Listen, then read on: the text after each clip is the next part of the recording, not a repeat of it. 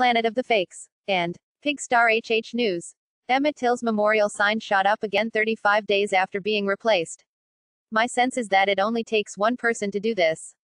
After 35 days of being replaced for vandalism, the memorial sign of Emmett Till has been filled with bullet holes. Aga.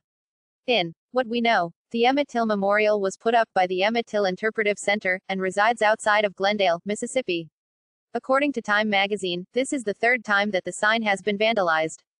To drive up and see it like that, I was sad, said Patrick Weems, a founder of the Emmett Till Interpretive Center in Sumner, Miss. When we finally replaced it, it was an amazing feeling that this sign that had been obliterated was finally restored. The memorial was placed in honor of 14 year old Till, who was lynched, beaten, and tortured by two white men, and then thrown in the Tallahatchie River. He was accused by a white woman, Carolyn Bryant, of whistling at her. The men were acquitted of his murder, and she recanted her story decades later after Till's death. It was not until 2007, 52 years after Till's death, that he received his first memorial sign. It only lasted one year, before the sign was stolen and never returned, New York Times reports. Several signs have been replaced since the first one was stolen. Another was also shot, and the newest sign was replaced in June. No one has ever been caught for vandalizing the signs, but Mr. Weems says, My sense is that it only takes one person to do this.